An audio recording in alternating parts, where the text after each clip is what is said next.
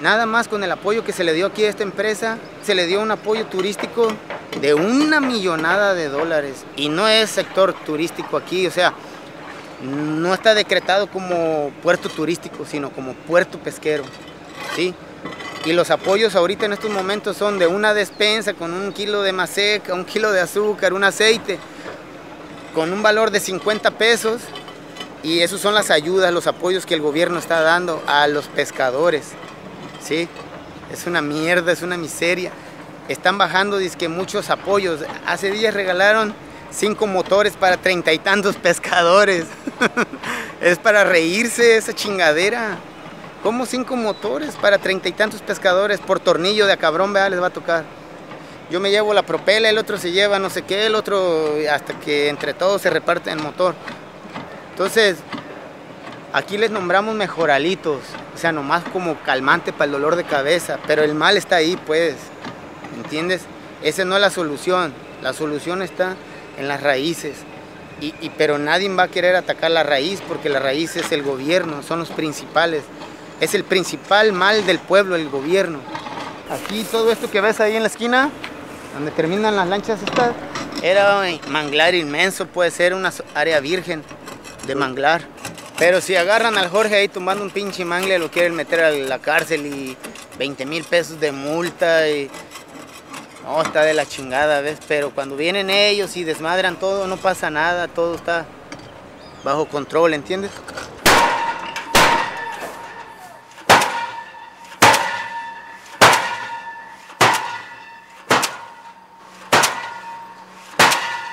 Igual ahorita estamos aquí los pescadores este, medios aislados, pero al rato que empiece a funcionar esta pinche porquería, que traigan las grandes empresas como Walmart, como Ley, grandes empresas, y, que los pequeños comercios empiecen a quebrar, empiecen a cerrar, que, y la gente va a empezar a ver que esto no es un desarrollo para nosotros, esto es partirnos la madre. Y entonces a lo mejor si nos unamos más, los pescadores, los comerciantes y, todo el mundo.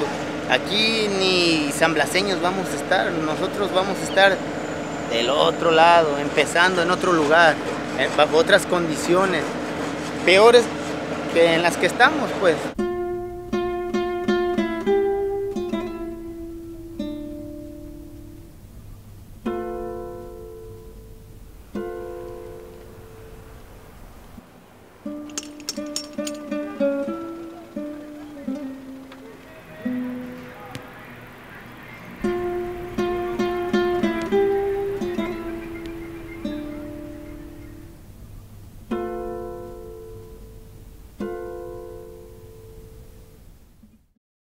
Pescadores van a ser desplazados como fueron desplazados en Isla Mujeres. Impusieron una veda. Está prohibido también en Yucatán pescar camarón o algún tipo de pescado para los pequeños pescadores. Las grandes empresas pueden pescar lo que sea. En Islas Mujeres los están reubicando en tierra firme, adentro. Ahí llegan y los botan y a ver de qué trabajan no les importa, si de campesinos o si encuentran trabajo en las grandes hoteleras como albañiles o que se vayan a Estados Unidos a buscar trabajo. Y en su lugar en Islas Mujeres, grandes emporios turísticos. Llega el que hace la construcción, todos los materiales de fuera, el arquitecto, ya que está, hasta los taxis ya están contratados en otro lado. No llega absolutamente nada para la gente que vive ahí. Eso es lo que hicieron en la costa de Chiapas, en Isla Mujeres en Quintana Roo, y en Puerto Progreso, en Yucatán, que nos contaron los mismos pescadores. Aquí están un paso antes de eso. Sobre el puerto de San Blas se va a encimar otro puerto de San Blas donde no caben los sanblaseños. Como si esa máquina que está allá aplanara a todos los habitantes de San Blas y sobre sus cadáveres, sobre sus historias, empezaran a levantar la riqueza de ellos. Ni siquiera va a quedar los rastros de sus casas, de que luego vengan sus nietos a decir, aquí vivió mi papá, mi mamá, no va a haber nada. Va a haber un centro comercial, una marina, pero de yates, no de lanchas pesqueras. Igual en nuestras montañas no vamos a estar nosotros. En todas partes se van a apoderar, nos van a correr, si nos morimos, no nos morimos, no les importan, y ellos van a empezar a meter otro país, que ni siquiera va a ser país, va a ser un estado más de la Unión Americana. No va a pasar porque ya hay un grupo de mexicanos y mexicanas que dijeron que no, que son los que están en la otra campaña.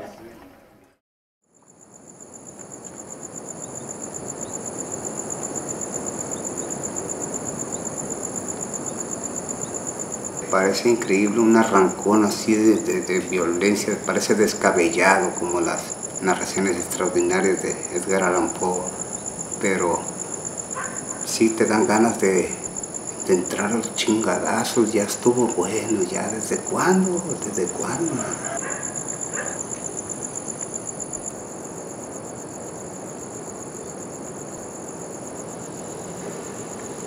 Dice Marcos, eh, vengo desde el sur, vengo desde Chiapas, desde Islas Mujeres Cancún y hasta al norte, estoy aquí con ustedes, aquí en San Blas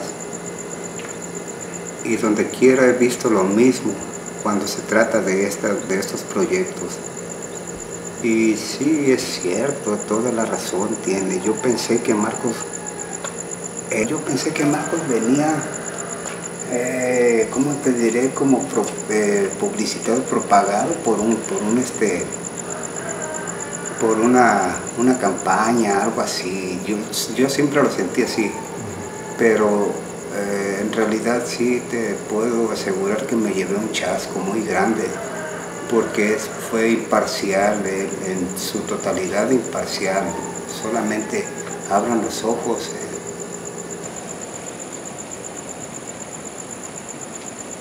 Toda la gente que vive en la playa, toda su vida son pescadores de, de toda la vida, de que ahí mismo nacieron, esas mismas casas están hasta del mismo color tienen cientos de años y todos son pescadores, no otro oficio, no, pues toda su vida han sido pescadores, ¿cómo van a renunciar a algo que, que es nato de ellos, verdad? ¿A dónde van a ir? ¿Te sientes extraño? Yo lo tomo así, de esta frase de abrir los ojos y concientizar lo que estamos viviendo. Y está más que perfecta, pero yo quisiera que ahora sí que el tiempo transcurriera rápido.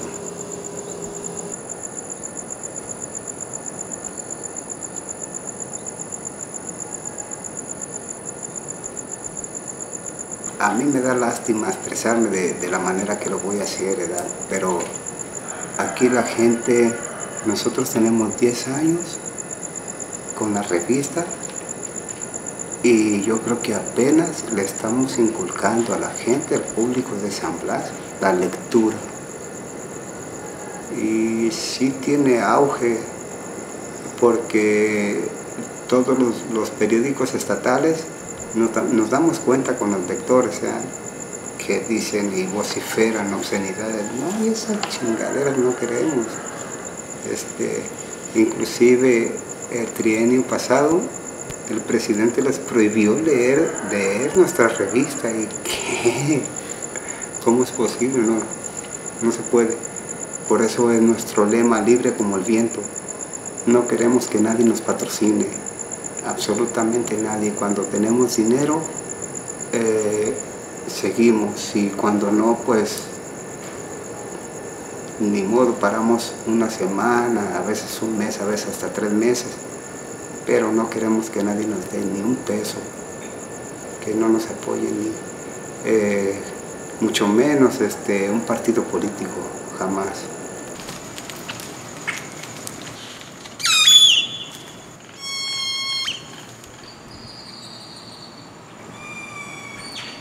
Las protestas que se han iniciado el 22 de marzo en Atlanta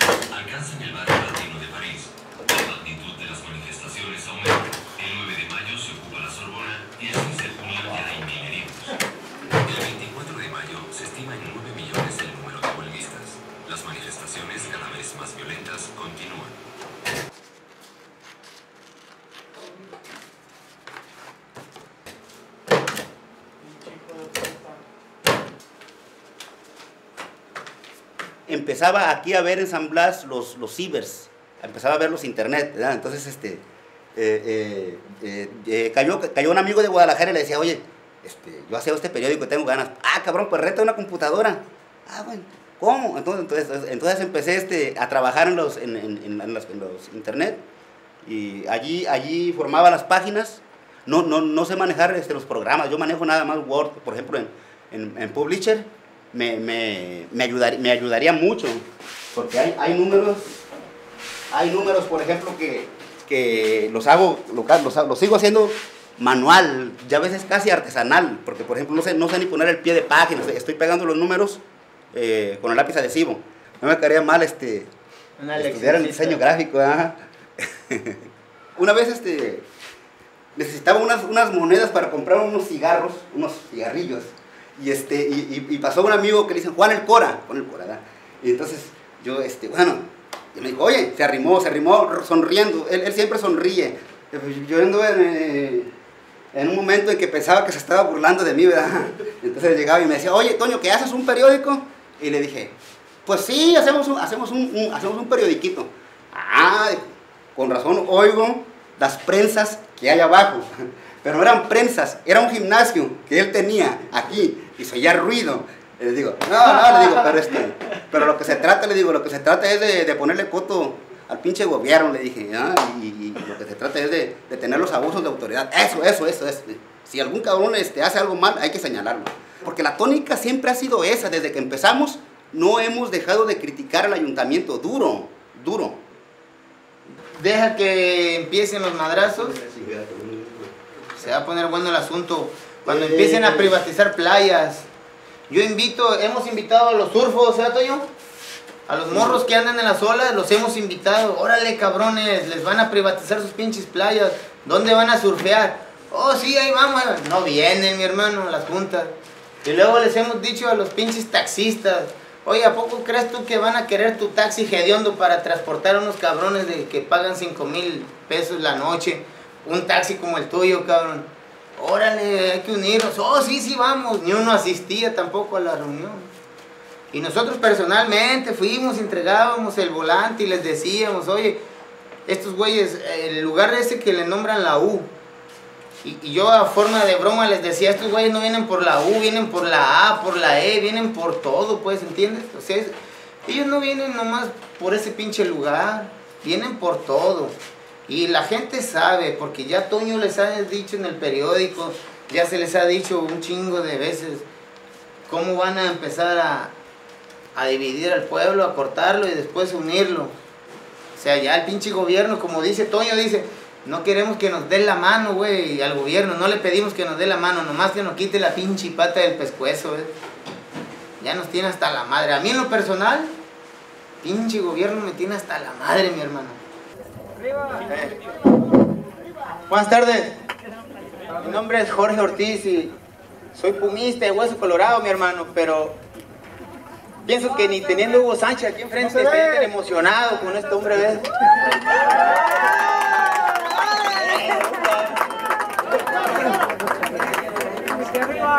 Este, pues si vamos a hablar de inconformidades e injusticias, aquí nos podemos pasar todo el día, toda la tarde, toda la noche y otros días. Este, ya me tocó ir con el señor este presidente una entrevista con los pescadores. Hay un señor ahí enfrente que nos está haciendo la guerra. Y yo le dije, déjense de pendejadas, vamos agarrándolo y le rompemos su madre y vas a ver cómo lo ponemos en paz.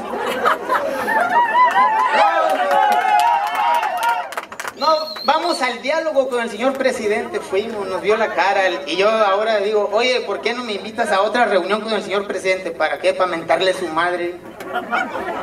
No hace nada. No hace nada. Y la gente de aquí somos bien pacifistas, pues, nos gusta el diálogo. y pero pues, la verdad, no, no, no, esta cosa no funciona y nunca va a funcionar. Estos señores que están con la construcción aquí, qué bueno que les gustó la mendiga U y no mi casa, porque si no el mismo presidente va y me saca de ahí. ¿Sí? Dicen los señores que nos van a reubicar. ¿Dónde? Donde ellos quieran. Donde ellos quieran. Son gente que ni son de aquí, que ni conocemos ni nada y que nomás vienen a llevarse el poquito dinero que nosotros producimos. ¿Para qué? Para dejarnos en la calle. A mi punto de vista aquí de todos los presentes, yo digo, esos son puros mendigos lavaderos de dinero, puro narcotráfico. A lo mejor mañana pasado amanezco muerto y la chingada, pero ya dijo el amigo este, hasta de una gripa me puedo morir. No la tengo comprada. Y pues como le digo, pudiéramos seguir hablando y hablando y hablando, pero el tiempo es poco y usted yo sé que trae una agenda saturada y por lo pronto, mi hermano, me da gusto que esté aquí en Blas, en lo personal.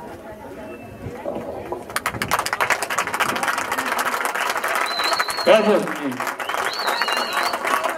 Gracias. Hubo un pendejo que decía que, que por qué no se quitaba la capucha, pues, y que la otra campaña venía representada por el Che Guevara, y que no se quitaba la... y que Che Guevara daba la cara. ¿ah? Y yo le platiqué a alguien, le dije, mira, mi... pues yo no tengo ídolos, porque pues no hay que... ¿ah? Pero sí tengo favoritos en la lucha libre, por ejemplo, yo estaba Morrillo y el Tinieblas, el Mil Máscaras, el Santos, eran mis favoritos esos güeyes. Pero si un cabrón de esos llega y se quita la máscara y me dice, yo soy el santo, nah, chinga tu María, no te voy a creer, pues, ¿verdad? Pero ¿qué pasa con Marcos cuando trae la capucha? Pues que es un luchador también, cabrón. Nomás que este güey anda encapuchado igual que el santo, ¿eh? Yo hablé motivado por la, por la, por la poca participación que había de la gente. Eh, por la poca participación que había de la gente y- y- y sobre todo también para, para esfumar ese, esa idea de que, de, de- de que, de que de intervencionismo, de que vienen a decirnos lo que tenemos que hacer. Por ejemplo, muchos dicen, porque muchos este, dicen, no, aquí no nos va a decir que lo que tiene que hacer Marcos. Entonces yo, yo, yo puse precisamente eso, que la solución para los problemas de San Blas, eso es lo más importante que dije, que, lo que creo, la solución de los problemas de San Blas estaba en la gente de San Blas, aunque Marcos viniera esta vez, ¿verdad? que la gente tenía que resolver sus problemas.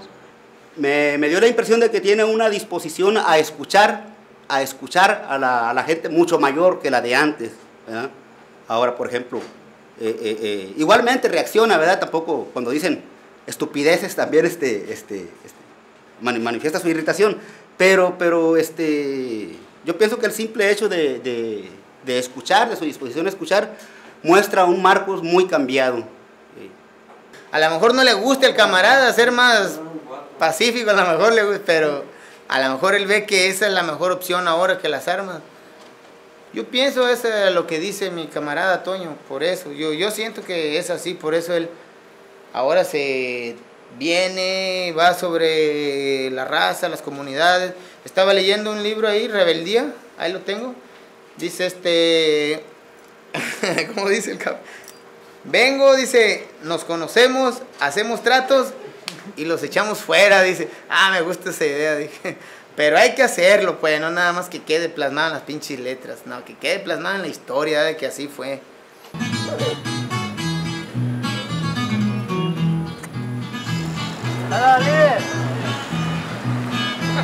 La palma, la palma.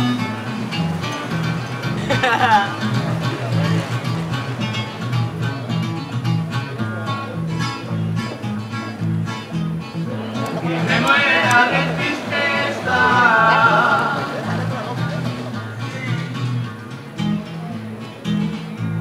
me mate el sentimiento.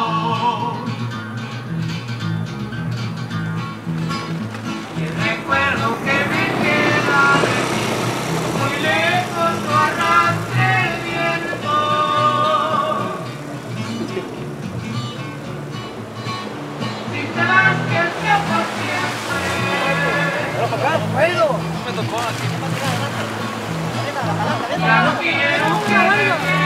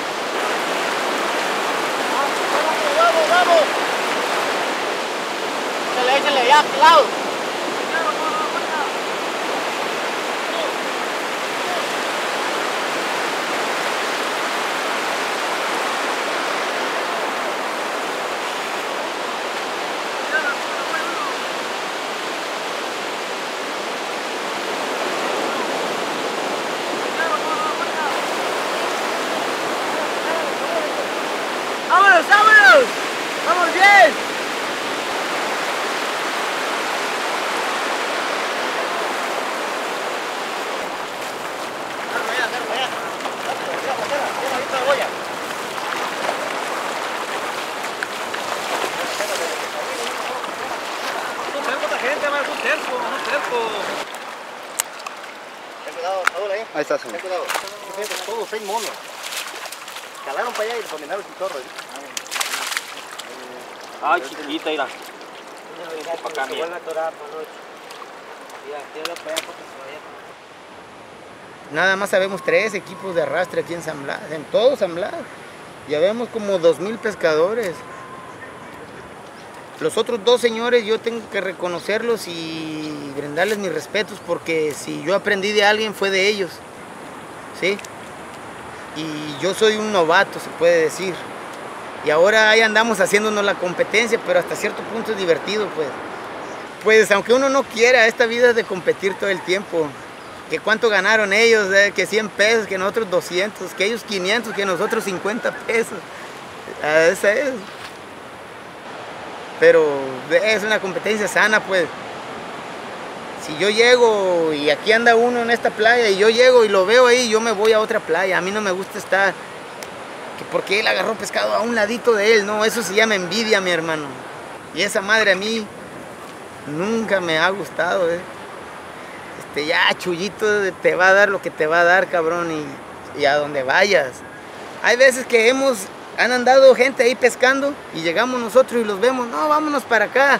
No, que mira, que tira a un lado, mira, que no, no, no, vamos a otro lado. Y nos hemos venido a este lado y hemos visto unos mendigos cardúmenes que tiramos que me cae de madre que la lancha llena, mi hermano. ¿Qué hago, cabrones? No querían venir, ¿eh? ¿Ya? Y ya llegamos con la lancha casi hundiéndose de producción, ¿ves? Y los otros les va bien, pero no igual que a nosotros. Y lo mismo les pasa a ellos. Nos ven a nosotros pescando y se van a otro lado, a veces les va mejor. Que estar uno ahí cerca del otro, ¿se, ¿se entiende? Vas a la pesca de arrastre, en promedio de una hora ya se aventó un lance. Eh, y regularmente se avientan cuatro lances. Así que son cuatro a cinco horas, máximo seis horas. Vean, puede durar. Si tienes problemas puede durar hasta mediodía, si se te pega el chinchorro o algo. Pero regularmente, regularmente son cinco o seis horas de trabajo este, y- y- y vienes. Pero también, también, este, también depende, depende mucho del equipo que andes porque la diversión se convierte en martirio cuando no hay un acuerdo en el trabajo colectivo, ¿verdad? Y, este, y cuando sí, cuando sí hay un acuerdo, pues a toda madre, ¿verdad? Entonces este, es importante también eh, ver ese aspecto, ¿verdad? Andar a gusto, ¿verdad? Con la gente. Pero, por ejemplo, antier agarraron, pues agarraron, un- si agarran 170, un poquito más para arriba, a mí me, me, me da tranquilidad, pero es contradictorio, me da tranquilidad porque ya tengo dinero para la tinta y para el papel, ¿verdad? Eh, en ese sentido me da tranquilidad y me inquieta en el sentido de que, de que me quita tiempo para aplicarme a elaborarlo, me, desincronizo de la sociedad. eh, pero, pero me gusta mucho el tipo de, pesca de arrastre, que hacemos nosotros, en la ola. Pero yo me acuerdo que cuando estábamos morrillos, todos los cabrones encuerados, chiquillos encuerados, jugábamos ahí debajo de la lluvia. Y nos íbamos por toda la calle patinando por el lodo, jugando, pues, jugando nosotros. Ese era nuestro juego. había un chorro que caía, cuando llovía mucho, había un pinche chorro aquí en la terminal de autobuses, que llegaba toda la pinche bola de chiquillos, y nos metíamos ahí a ver quién aguantaba más rato con el chorro en la cabeza. Y ya salió, y eso eran nuestros juegos en esta calle.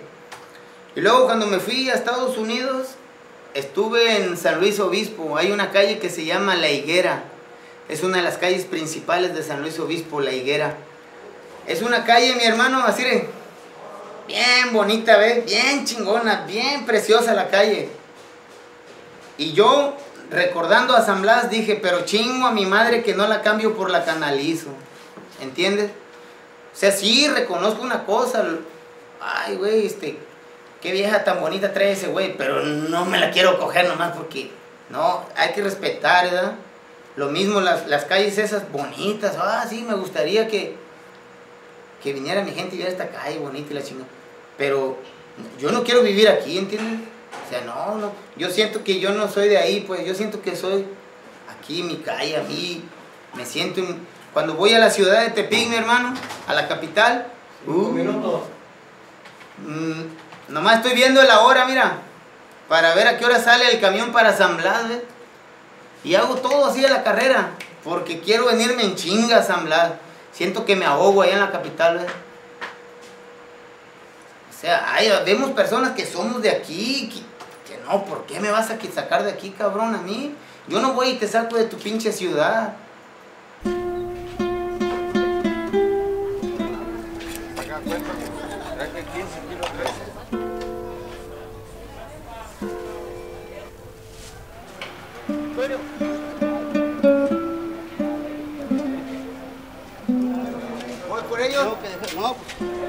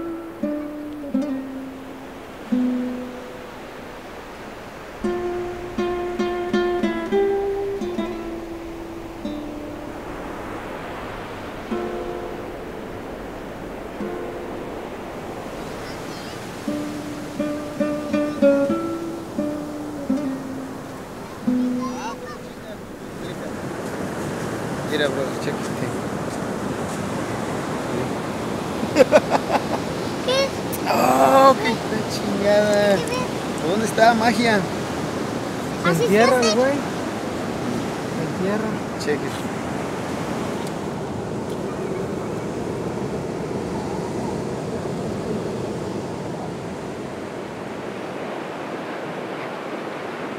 Necesitamos concientizar a la gente y que sepamos querer y, y amar lo que es nuestro. Vamos a dar cuenta que lo que tenemos es una gran chingonería, una, una gran belleza. Hay una canción ahí que dice que nadie sabe lo que tiene hasta que lo ve perdido. ¿ves? Así pasa con esto, hasta que no veamos que ya nos están cerrando las pinches playas, hasta que no veamos que ya no me dejan entrar al muelle a pescar, a cargar gasolina, que a pasar por ahí, hasta entonces nos vamos a dar cuenta que, que no, que hay que luchar. Estuve leyendo la central de trabajadores, dice Atenco somos todos. Yo pienso que Blas somos todos, mi hermano. Ya viéndolo así en la hermandad que, que se carga la, la otra campaña, ah cabrón, hay que tenerle cuidado, pinches locos, y me incluyo entre ellos, ¿ves? Y así debemos de nosotros, ¿ves? Albergar cada, cada día como una oportunidad de, de- de- de hacer las cosas como nosotros queremos, ¿ah? Precisamente de hacer lo que nosotros queremos aquí en San Blas. No que venga alguien y nos diga lo que tenemos que hacer y cómo se debe de hacer. Nosotros sabemos lo que tenemos que hacer y cómo hacerlo, pero nos falta organización. No la tenemos, mi hermano. El gobierno se ha encargado hasta de eso, de dividirnos, ¿sí? de que nos enfrentemos como hermanos aquí, los pescadores contra los pescadores. Ya nos nombraron traicioneros, un grupo de traidores, de pescadores traidores, dicen, cuando se refieren a nosotros, a los pescadores que no estamos de acuerdo en que vendan allí, en que no estamos de acuerdo a la escalera náutica, en que no estamos de acuerdo en el pinche proyecto ese de Mar de Cortés. Pues no, no estoy de acuerdo. ¿eh?